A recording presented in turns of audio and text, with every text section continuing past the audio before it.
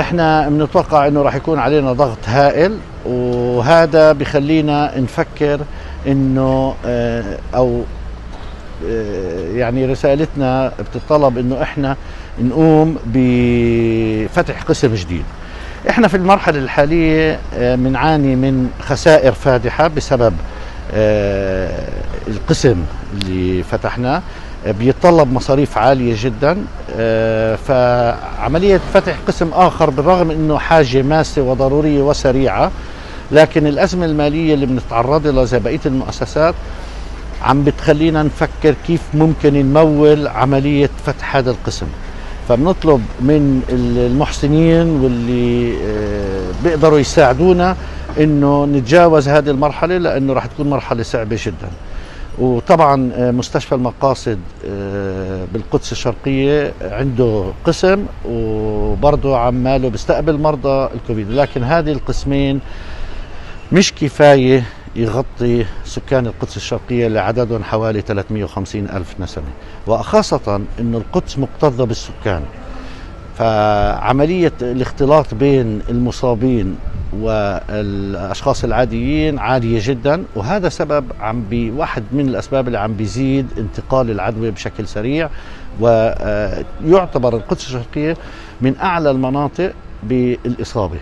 وإحنا متوقعين إنه بعدنا ما دخلنا المنطقة المنطقة الحرجة إحنا بنتوقع شهر 10 أو شهر 11 نوفمبر إنه يكون آه، وضع أصعب كثير من اللي إحنا فيه. اليوم شكل خطورة كبيرة جدا.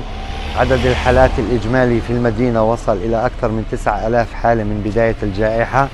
الحالات الفعالة حاليا تشكل أكثر من 2000 حالة وتشكل 30% من نسبة الإصابات في مدينة القدس بشرقها وغربها هذا العدد هو عدد ضخم وكبير جدا ونتيجة عدم قدرة المستشفيات على استيعاب الحالات الصعبة والمرضية التي تحتاج للعلاج الطبي المكثف.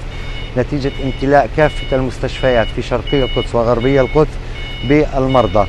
من أسبوعين وأكثر أكثر من 26 حالة من مدينة القدس تم نقلهم إلى مستشفيات الداخل الفلسطيني لعدم وجود إمكانيات لاستقبالهم في مدينة القدس. هذه الحالات مرشحة للزيادة في الفترة القادمة نتيجة تصاعد وتزايد أعداد المصابين في كل يوم. هذا ينذر بخطر كبير يهدد أحبتنا وأعزائنا. كبار السن والمرضى مهددين وتهديد حقيقي وفعلي إذا أصابهم الفيروس قد يؤدي إلى وفاتهم. عدد الوفيات في مدينة القدس تجاوز الخمسين حالة حتى الآن ويوميا نشهد حالات وفاة جديدة في كل يوم وقد تتزايد في الفترة القريبة. نتمنى من جميع المستمعين والمشاهدين أن يستمعوا ويلتزموا بالتعليمات الصحية بالوقاية والالتزام بالتعقيم والابتعاد عن مخالطة المرضى. كل إنسان خالط مريض عليه أن يلزم بحجر نفسه. هناك مشكلة إضافية اللي هي عدم توفر نقاط الفحص بشكل كامل في مدينة القدس. نقاط الفحص الدرايف إن تم إيقافها في الأسبوع الفائت لأكثر من عدة أيام وهذا يؤدي إلى زيادة تفشي المرضى. هناك كان مشكلة أخرى وجود عدم وجود محطات فحص في مناطق الموجودة داخل الجدار. مخيم شعفاط وكفر عقب ومخيم قلنديا تم فتح هذه المحطات بعد فترة مماطلة طويلة وهذا الأمر أدى إلى زيادة عدد الإصابات في المرحلة السابقة. في المرحلة القادمة نتوقع أن تكون الزيادة سريعة جدا.